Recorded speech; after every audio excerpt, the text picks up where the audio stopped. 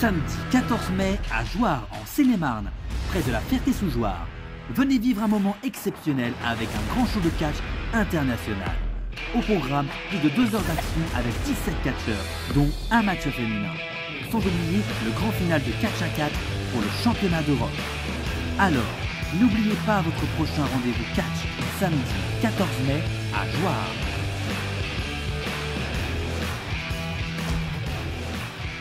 Informations et réservations sur catchprod.fr.